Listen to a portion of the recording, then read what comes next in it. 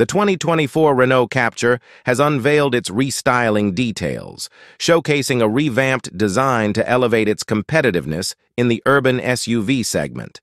Renowned for its comprehensive features, the Renault Captur stands out with a practical cabin boasting sliding rear bench seats and an impressive boot capacity of up to 536 liters.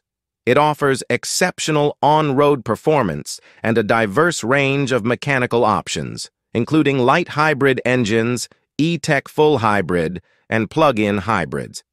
Positioned as a valuable alternative to SUVs like the Hyundai Kona, Opel, Vauxhall Mokka, Peugeot 2008, Seat Arona, Skoda Kamiq, Toyota CHR, and Volkswagen T-Roc, the Captur is set to undergo a restyling to further enhance its appeal.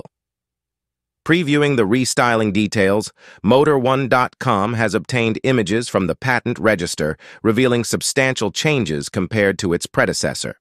Notable modifications include alterations to the bonnet, headlights, grille, and bumper, presenting a brand image aligned with the latest offerings from Renault.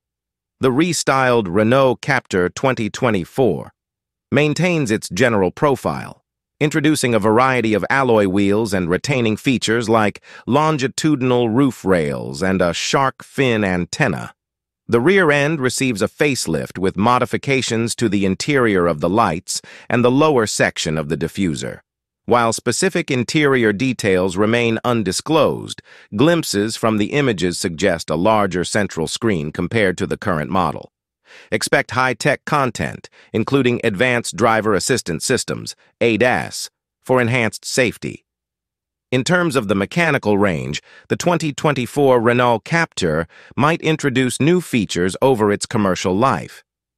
There is speculation about the potential replacement of the 1.3-liter TCE mild hybrid 12V engine, four-cylinder, with the three-cylinder 1.2-liter mild hybrid Advanced 48V Eco label.